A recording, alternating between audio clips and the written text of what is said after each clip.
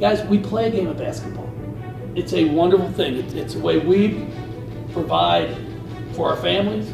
Okay, it's how we take care of ourselves. But it's a game. But it's a wonderful game.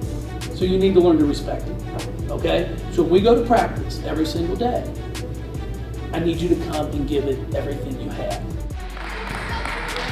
It's really cool to be able to play again with the best players around the country. I've gotten a chance to play with some of them two years ago, so it's really cool to see how much their game is expanding. You're switching there. What should you do?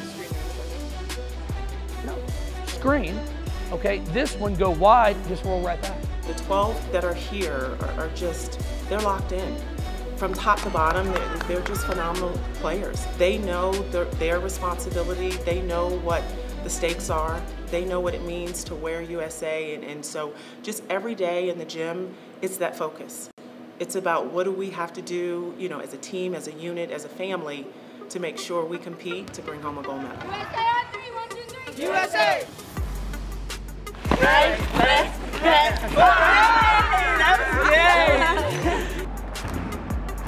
competition is not going to be easy just because we're USA, that we all need to be focused and we need to play as a team. I learned you got to be physical because everybody's going to be stronger and you got to be quick too because everybody's speed is going to be just as fast as yours. Playing domestically, you kind of get a, a certain image of what basketball is like and then you play other teams around the world and you understand that there are a, a lot of different styles that you've just never seen before. The biggest challenge is having players be able to catch a vision for a standard that maybe they've never experienced before. And I think, you know, as a coach, you're trying to help them find gears inside of them that maybe they didn't even know they had. It's in them. They have it. The, the talent is there. The capability is there. Um, it's them catching a vision for it and then executing at a really high level.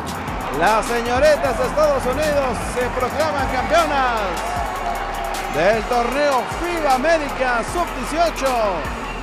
You know, I'm just elated for the players. It was a shock when Sedona went down, but they all rallied together to come out here and play for her. Uh, and they're, they're just a great group of young women who just continue to compete game in and game out, and I'm, I'm really proud of them.